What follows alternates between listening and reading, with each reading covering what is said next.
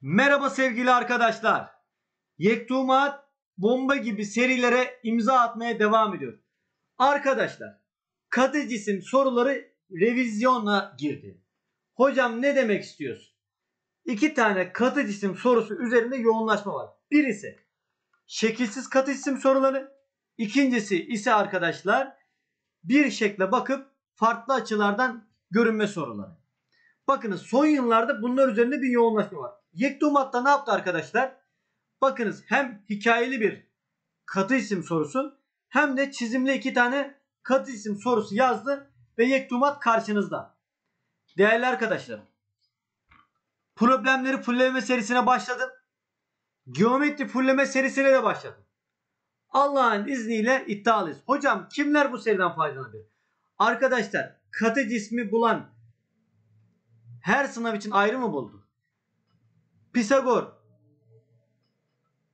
hipotenüsü a kare artı b kare eşittir c kare bağıntısını ALES için, DGS için, KPSS için, TYT için, AYT için ayrı mı buldu? Bazı soru tipleri herkes için ortaktır.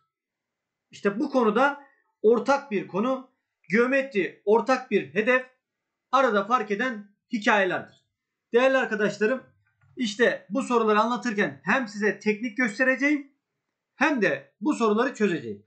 Şimdi bakın şu soruyu bir okuyun durdurup size nasıl bir teknik göstereceğim. Dikkatlice okuyun. Yükseklikleri eşit ve taban ayrıtları yukarıda verilen iki prizma başlangıçta boştur.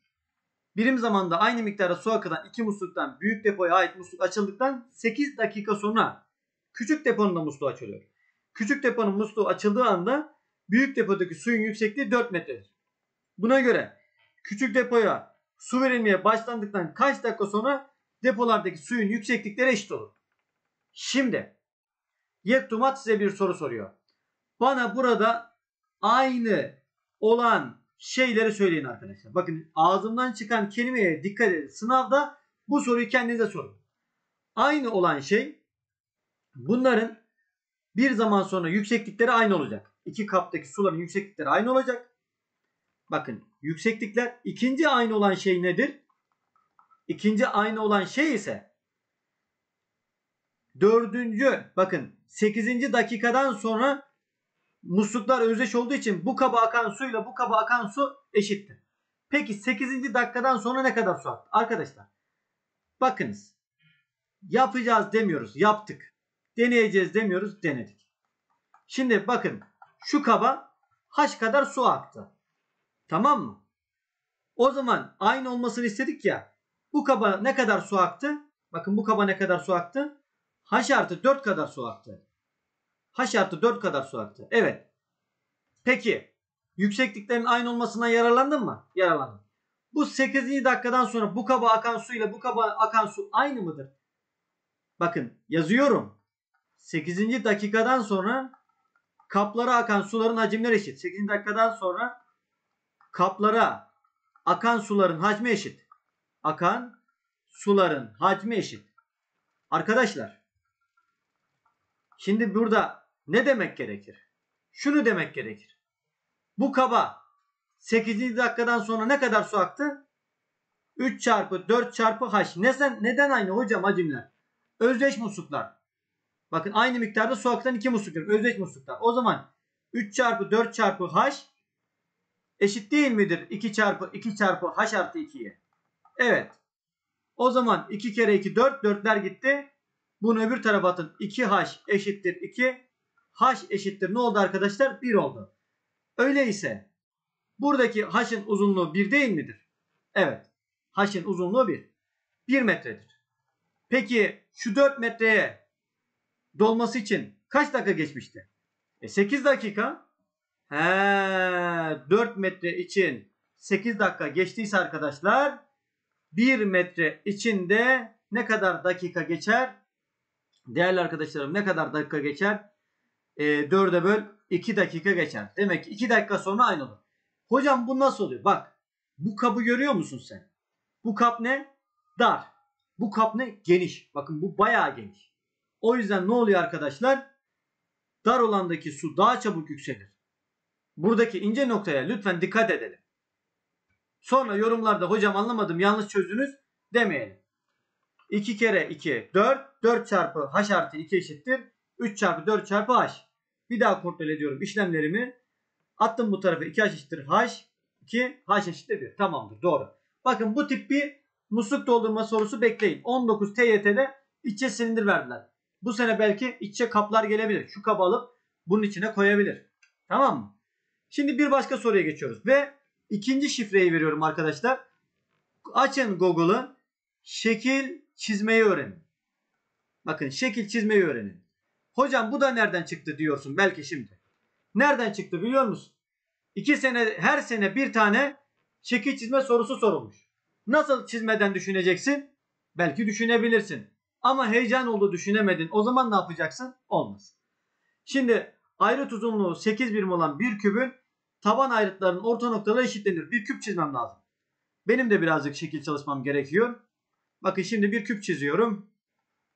Bu arada arkadaşlar kitabım ALES DGS KPSS için satışa açıldı. Ee, çözümlerini de ben yapacağım kanalda. Tamam mı? Çözümlerini de kanalda ben yapacağım. Şimdi şöyle bir küp çizelim. Evet. Bence orta halli bir küp oldu. Şimdi diyor ki taban ayrıtının orta noktaları. İşaretledim. Buna çok dikkat edin arkadaşlar. Bir şey biliyoruz ki bu soruyu buraya aldık. Şöyle bunları birleştirdik. Yani tahmin anlamında arkadaşlar. Bunun bir kenarı kaçtı? 8. O zaman bura ne? 4. Bura ne? 4. Bura ne? 4. Bura ne? 4. 4. Bak buraya dik. 4 4 ne oldu? 4 kök 2 mi oldu? Burası da 4 kök 2 oldu. Yani şurada bir kare oluştu aslında. Orta noktaları işaretlerini ve işaretlenen bu noktaları birleştiren bir kare çizildi. Bakın kareyi çizdim. Kübün içerisinden tabanı bu kare. Yüksekliği ise kübün bir ayrıtının uzunluğunun yarısına. Yani o zaman mesela şöyle şurada kübün ayrıtının bir uzunluğun yarısı olacak şekilde bir piramit diyor. Bakın dikkat et ağzımdan çıkana. Piramit diyor. Ne demiş? Piramit dedi. Öyleyse biz de ne yapacağız arkadaşlar? Şöyle bir piramit çizeceğiz. Bakın şöyle bir piramit çizeceğiz. Bir dakika. Şunu birazcık daha dikkatli çizeyim. Şöyle bir piramit çizdik. Evet. Şimdi bu piramidin bakın şurası yine 4 kökü. Karedik piramit değil mi? Ben size Hatay formülü demiştim. Hatay neydi? Hacim eşittir taban alanı çarpı yükseklik. Ama bu ne içindi? Prizma. E hocam bu prizma ise bu ne? Bak bu da piramit. Piramidin farkı ne? Tepesi noktayla bitiyor. Tabanda bir düzgün şekilken tepede noktayla bitiyor. Piramitte ne? Tay bölü 3. Bu kadardır. Zaten bu formüller size sınavlarda son zamanlarda veriliyor. Piramit. Şimdi bana diyor ki kübün içerisinden tabanı bu kare yüksekliği ise kübün bir ayetin uzunluğunun yarısına eşit olan kare dik piramit çıkarılır. Yeni bir cisim elde ediliyor. Elde edilen cismin hacmi nedir? Arkadaşlar bu piramidin hacmini bulalım. Bu piramidin hacmi nedir? Taban alanı. 4 kök 2 çarpı 4 kök 2 taban alanıdır. Bu bir kare. Çarpı yükseklik. Yükseklik ne kadardı? Bu kübün bir ayrıtının yarısı. 8 o zaman yükseklik ne? 4. Bölü 3. Bölü 3. Kök 2 kökü 2. 2 kere 4 kere 4 16. 16 kere 4 128 bölü 3 geldi. Peki kübün hacmi nedir? Taban alanı ne? 8 çarpı 8. Yükseklik ne? O da 8. Bunları çarparsak 8 kere 8 512. 512 eksi 128 bölü 3. Bunu da hesaplayın yoruma siz yazın. Artı isteklerinizde lütfen yoruma belirtin arkadaşlar.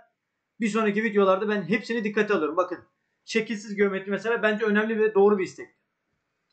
Şimdi son bir soruya geçtik. Tuba bu arada sıkı takipçim. Kendisini tebrik ediyorum. Oyun hamuruyla oynayan Tuba bu oyun hamuruyla yüzey alanı 96 birim kare olan bir küp yapıyor. Bakın ne yapmış? Bir küp. Öyleyse bu soruyu daha iyi anlamak adına bir küp çizelim. Benim de birazcık çizim çalışmam gerekiyor. Evet yüzey alanı neymiş? 96. Bu kübün hacmi neydi? A küp. A küp eşittir hacmi. Peki yüzey alanı dedi. Bir yüzünde bütün yüzlerinde kare var. Karenin yüzü A kare. Kaç yüzü var bunun?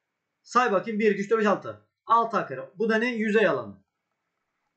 Şimdi bak soru sana diyor ki yüzey alanına 96 birim kare olan bir küp yapıyor. Bunu 96'ya eşitledim. Bunları sadeleştirdiğim zaman A kare eşittir 16. A da eşittir 4 geldi. Uzunluk eksi olmaz. Eksi bulan olmasın. Evet diyor ki ve daha sonra bu kübü bozarak tabanı ikizkenar dik üçgen. Bakın tabanı ikizkenar dik üçgen diyor arkadaşlar. Bir dıt sesi geldi. Bir dakika. Nereden geldi bu dıt sesi? Bakmak istiyorum. Buradan gelmedi. Evet. Evet tabanı böyle olan bakalım çizebilecek miyiz? Öğretmen diye her şeyi yapacak diye bir kanun, bir yasa yok arkadaşlar. Bizlerin de bazen bazı şeylere daha fazla çalışması gerekiyor. Evet. Şöyle bir ikizkenar dik üçgen prizma bakın. Şimdi bu oyun hamurunun değişmeyen şey nedir? Bak yine sana bir hocan şifre verdi. Değişmeyen ne? Hacim. Hamurun hacmi değişmez. Alan değişir. Şimdi arkadaşlar öyleyse burada bakınız burada bunun da hacmi yine aynı. Diyor ki yüksekliği 8 olan e, dik prizmanın bir kenarının yüksekliği 8 birim ise. Şimdi bunun bir kenarı 8. Bakın burası 8. Burası da 8. Öyleyse bunun taban ayrıtlarını şöyle diyelim. Şuna x diyelim arkadaşlar. Buna da x diyebiliriz. Peki bunun hacmi bunun hacmine eşitse bunun bu ne prizma değil mi yine? Bak tabanında bir ikizkenar üçgen var. Burada da var. Bu bir prizma. Hatay formülüyle bulunur. Hacim eşittir. Taban alanı çarpı yükseklik. x çarpı x bölü 2. Bakın taban alanı bu. Çarpı yükseklik eşittir. Bu cismin hacmi. Peki hacim neydi arkadaşlar? Şu cismin kübün hacmi ne? E kübün hacmini bulmamışız ki. A'yı 4 bulduk. 4'ü yerine koyalım. 4'ün kübü. O da ne gelir arkadaşlar? 64 gelir. 64'ü yazalım. 8'i 2'ye böl 4. 4 ile 64 sadeleştir 16. X kare eşittir 16. X ne geldi? 4. Demek ki şurası 4. Burası ne 4. Ama ben seni sormuşum? İkizkenar dik prizmanın yüzey alanını sormuş. Bu dersin sonuna hemen çıkmış ee, şekilsiz kat isim sorularını çözün arkadaşlar. Şimdi bakın şuradaki yüzü bulalım. 4 çarpı 8 32. Aynısından burada da var. 32 artı 4 4 4 kök 2. Bakın burada 4 kök 2 var. Ama yükseklik nedir bakın? 8. Ne geldi? 32 kök 2. Artı 4 kere 4 16 2'ye bölün 8. 4 kere 4 16 2'ye bölün 8. Değerli arkadaşlarım 40 40 40. 40 yapar. 40 40 daha 80 yapar. Yine gülmek yoktur. Evet 80 artı 32 kök 2 gelmiştir. Bir kez daha söylüyorum arkadaşlar. Kitabımın çözümlerini ben yapacağım. E, oynatma listesi hazırlayacağım. Birazını yaptım ama yeniden yapmayı düşünüyorum. Sizler için daha faydalı olsun diyorum arkadaşlar. ALES, DGS, KPSS için de satışa açıldı. Herhalde yarın diğer sitelerde de açılacak. Arkadaşlar kargolarda inanılmaz bir yoğunluk var. İnsanın yüzüne geçen hafta ben kargodan bir kağıt yollayacaktım Ankara'ya. Yüzüme bakmadılar. Valla dedi ki hocam yollamıyorsun. Ya diyorum bir kağıt yok bitmiş. İnanılmaz bir yoğunluk var. Bakın inanılmaz bir yoğunluk var. Şimdi ben bir öğretmenim arkadaşlar. Belli şeyler benim işim değil. Ama bakın ben sizin için elimden gelenin fazlasını yaptım. Her şeyini acele ettim ama bu bir yayın evinin elinde artık. Ben kitabın haklarının birçoğunu yayın evine verdim. Baskı kuruyorum siz bana yaptıkça. Arada artık bir gerilim olmaya başladı. Ee, ama emin olun bakın e, mağdur olan arkadaşları sıkıntısını gidermek için de problemler için ne kadar çalışma yaptım. O yüzden arkadaşlar e, inşallah çalışmalarım faydalı olmuştur. Bana da kızmayın. TYT ve MSÖ'ye girecek arkadaşlar. Ale 2019, ALES 1, ALES 2, ALES 3'ü çözsünler. Artık yeni nesil sorular tek bir çatı altında birleşmeye başladı. Mesela KPSS'nin bazı soruları artık TYT'ye benziyor. Problemler anlamında. Artık çoğu şey birbirine benzemeye başladı. Sınav zor mu kolay mı olur? Arkadaşlar karşınızdaki bir kurum size göre davranmaz. Onun belli bir kalitesi vardır. Ölçme yapacaktır. O ölçeceğini yine ölçer. Değişmez. Bakın en son siz bilmiyorsunuz TYT'ye girecek arkadaşlar. 2019 ALES'te bir ALES kolay oldu. Millet mahvoldu. Bir sorun bakalım. Bir, bir yazın bakayım. Neler oldu? Adam normalde 40 puanla 85 82 alacaktı. 44 puanla 69 aldı. Standart sapmadan. O yüzden sınav kolay mı olur, zor mu olur? Zorsa herkese zor, kolaysa herkese zordur. Kolaysa herkese kolaydır. Değerli arkadaşlar, bugüne kadar bütün çalışmalarımı samimi yaptım. Profilimdeki kapak resmini de inşallah ee, çok sordunuz. O onun bir hatırası vardı. Onun acı bir hatırası vardı. O bana ÖSYM'nin dava açtığı gece değişti arkadaşlar. Üzüntüden telif içermeyen bir fotoğraf koymak istedim onu koydum. Yıktığı ismi o gece koyuldu. Bunların her birinin ayrı ayrı hikayesi var ama ben o kapak resmini inşallah değiştireceğim. Kanalı revize edeceğim. Ee, Allah razı olsun desteklerinizi esirgemediniz. İnşallah devam edeceğiz. Kendinize iyi bakın arkadaşlar.